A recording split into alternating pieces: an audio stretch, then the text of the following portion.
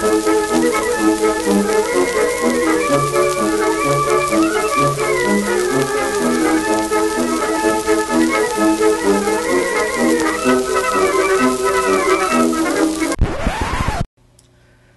I'm James Turner, and welcome to One Take Demos. Today we're going to start a look at Lisp, a language that's near and dear to my heart. It was one of the first languages I ever used. It was a language I, in fact, used for about eight years, which makes me somewhat of a pro in Lisp. I started at the MIT AI Lab, and then moved on to Lisp Machine Incorporated, Xerox AI Systems, and then later in my career, Interleaf. So I've, as I said, got about eight years' experience with various versions of Lisp, and I'm glad that you're joining me to take a look at it. It's a fun language. It's a very old language. It's contemporary of COBOL and Fortran, developed by John McCarthy. It's also very nice because it's a very syntactically simple language. There's not a lot of syntactic sugar in it, uh, as you'll see today as we start to um, take a peek at how the syntax works. Really, not a lot to it. It's not like Java, where there's a million things you need to know before you can start using it. So, Lisp is an evaluated language. This is a listener here where you can type in Lisp forms and get back values. Uh, I'm in fact using a product called LispWorks for the Mac, but you could pretty much use any Lisp you want as long as it's a Common Lisp implementation. Common Lisp is the ANSI standard, and most Lisps that you're going to get these days, regardless of platform, support it. I chose this one because it has reasonable networking support. Networking is not part of the standard, so different Lisps implement it differently. And I wanted a good one because our eventual project is we're going to build a very simple web server using Lisp. But for the day, we're just going to start by looking at a little bit of what you can do with it. So we'll begin with the basic data types. Numbers are numbers. Right? 12 evaluates to 12. 12.5 4 evaluates to 12.4. Interestingly, and this is something I hadn't realized until recently, 4 over 6 evaluates, well, to 2 over 3 because it simplifies it. So you can put in proper fractions or even improper fractions, and it will deal with them as numbers. Lisp uh, is very flexible about uh, its a number system, and in fact, um, I'm not sure if the exponent operator works, but let's uh, take a look. So it's 2 to the 20th. Nope, doesn't work. Um, I used to remember what the exponent operator was. Uh, is it EXP? If not, I'll look it up and we'll know next time. Nope. Uh, the point I was trying to make is um, actually that you can. Uh, well, just do something that just demonstrates it just by typing. Oops. Let's make it a real number. Right? We're going to, you know, normally in most language implementations, doing something like this, you'd get back an approximation. In fact, Lisp very happily will deal with it because it, once numbers get big enough, it starts representing them as what are called big nums, which are arbitrary length and for in fact stored similarly to strings. So you can deal very with very large numbers with uh, high degrees of precision.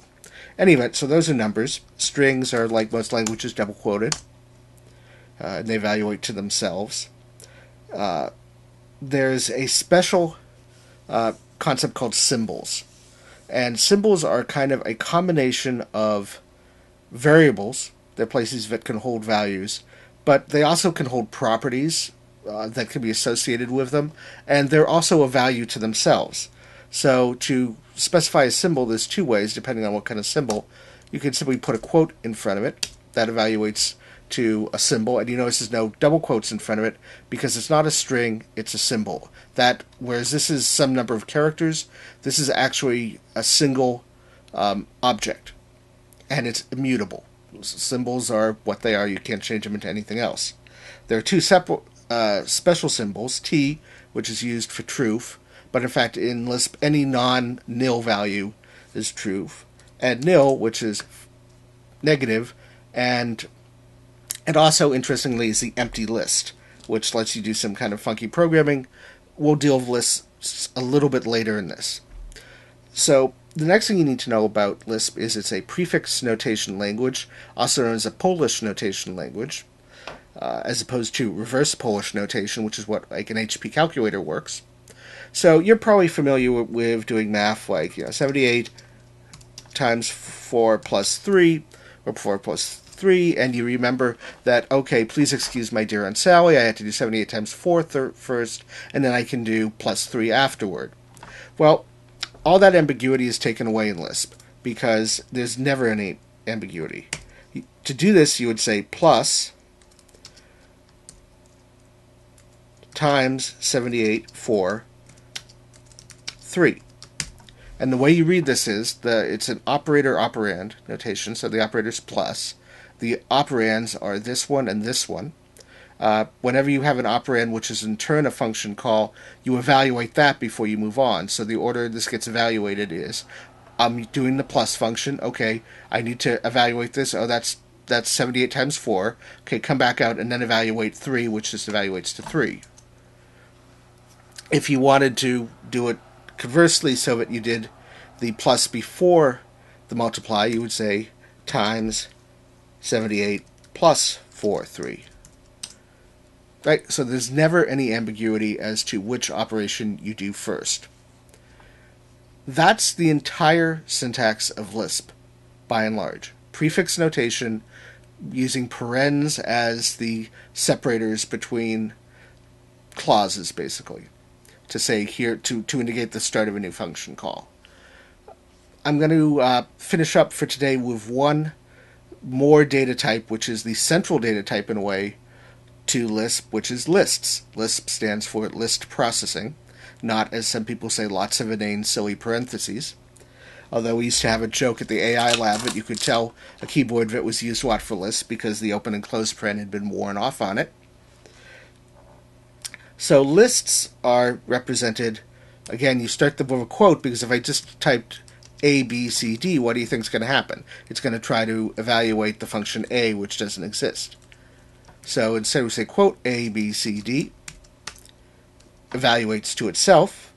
There are operators like you can say nth 2 of A, B, C, D. What do you think that's going to return? I think it's going to return B or C.